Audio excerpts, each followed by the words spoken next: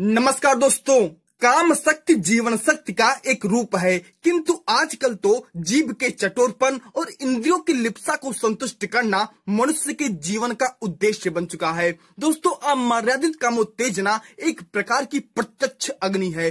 कामुकता के भाव मन में आते ही शरीर की गर्मी बढ़ जाती है, श्वास गर्म आने लगती है, त्वचा का तापमान बढ़ जाता है, रक्त का वेग तीव्र हो जाता है। दोस्तों, शरीर की इस प्रचंड गर्मी से कुछ धातुएँ पिघलने लगती हैं, जबकि कुछ धातुएँ जलने लगती हैं। शरीर के कुछ तत्व तो पिघलकर मूत्र में मिलने लगते हैं। दोस्तों, अक्सर देखा जाता है, कमुक व्यक्तियों के पेशाब का रंग पीला होता है, क्योंकि उसमें पित्त छार सरकरा जैसी शरीर की उपयोगी चीज़ें मिली हुई होती हैं। दोस्तों कभी कभी उनका पेशाब अधिक चिकना गाढ़ा, सफेदी लिए और लसदार होता है। इसमें चर्बी, एल्ब्यूमिन और हड्डियों का भाग मिला होता है। जब अधिक गर्म पेशाब आता है तो उसमें कई बार फास्फोरस और आयरन जैसी अमूल्य वस्तुएँ मिली होती हैं। दोस्तों, इस तरह काबाग्नि से शरीर के रस पिघल पिघल कर नीचे बहते रहते हैं और देह खोखली हो जाती है। त्वचा तो स्नायु तंत्र, पेशियाँ अस्थिपंजर उस अग्नि से जलते रहते हैं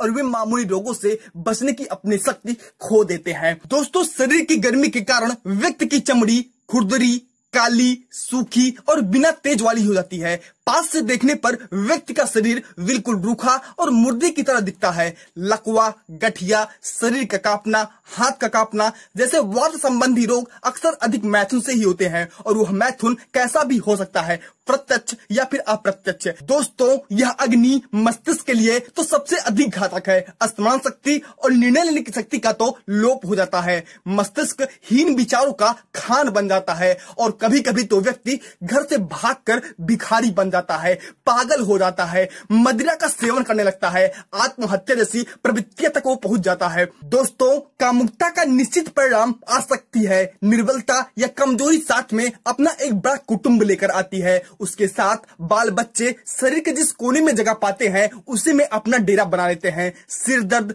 रीढ़ में दर्द, पैरों में अकड़न, आँखों के तले अंधेरा होना, भूख न लगना, हमेशा उदासी छाई रहना निराश रहना, मुँह का कड़ुआ रहना, दस्त साफ़ ना होना, पेट का साफ़ ना होना कफ गिरना, दांत में दर्द होना, खुजली होना, जलन होना, नींद की कमी होना, ये सब रोग कमज़ोरी के बाल बच्चे हैं। ये अपनी माता के साथ रहते हैं। इनको कोई दवा दारू हटा नहीं सकती है। केवल स्त्री संभोग ही काम वासना नहीं है। यदि कोई व्यक्ति केवल मैथुन की मर्यादा का ही थोड़ा उल्लंघन कर दे तो उसको विशेष प्रकार की हानि होती है।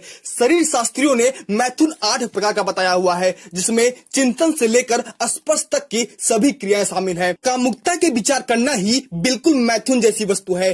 पॉर्न न्यूडपिक देखने से यह अग्नि ठीक उसी प्रकार से भड़क उठती है, जैसे मैथुन के समय शरीर के अंदर सभी क्रियाएँ उसी रूप में होने लगती हैं। दोस्तों, वासना संबंधी विचार कामुकता के दिए को जला देते हैं। मन में इस प्रकार के विचार आए नहीं कि रक्त में से वीर बनने का मैथुन शुरू हो जाता है। नॉर्मली वीर रक्त में मिला रहता है, परंतु जब विचारों का मंथन शुरू होता है तो दही में से घी की तरह रक्त में से वीर निकलता है।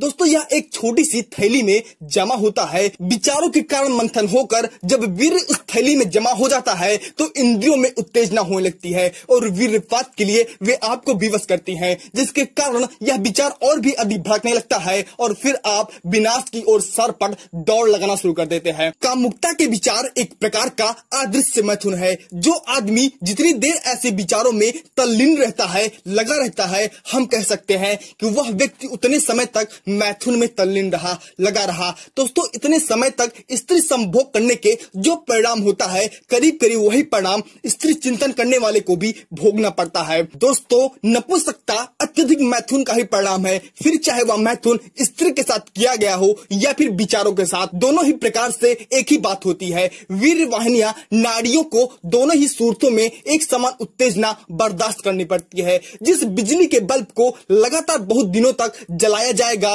उसके भीतर तार थोड़े ही समय में जलकर खराब हो जाएगा। दोस्तों चूँकि काम वासना के साथ शारीरिक शक्तियों को भी उत्तेजना मिल जाती है, इसलिए इसका प्रवाह दूसरे विचारों की अपेक्षा बहुत ही तीव्र होता है। मस्तिष्क में जब इस प्रकार के विचारों का तूफ़ान उठता है तो दूसरे विचार दुम दबाकर एक कोने में छिप जाते हैं। दोस्तों, जिस व्यक्ति के शरीर और मन में एक ही प्रकार की ज्वाला जल रही है, वह व्यक्ति कैसे स्वस्थ रह सकता है? इस बात की कोई कल्पना नहीं कर सकता है। दोस्तों, इस अग्नि का काला और कड़वा धुआँ आपके शरीर को जलाकर राख कर देगा। अभी भी समय है, मित्रों, संभल जाइए। मैं आपसे सिर्फ़ एक ही बात कहना चाहता हूँ, यदि आप इस प्रकार की विनाशकारी विचारधारा में तल्लीन रहते हैं तो कृपया आप उससे बाहर के लिए जीवन के दूसरे आयामों को छूने की कोशिश करिए, आपका जीवन बदल जाएगा। दोस्तों, फ़िलहाल इस वीडियो में इतना ही। ऐसे ही ज्ञानवर्धक और जानकारी से भरपूर वीडियो देखने के लिए आप हमारे चैनल को ज़रूर सब्सक्राइब कर लीजिए वेल आइकन को प्रेस कर लीजिए। वीडियो पसंद आई हो तो अपने सारे दोस्तों के साथ ज़रूर से ज़रूर शेयर कर दीजिए,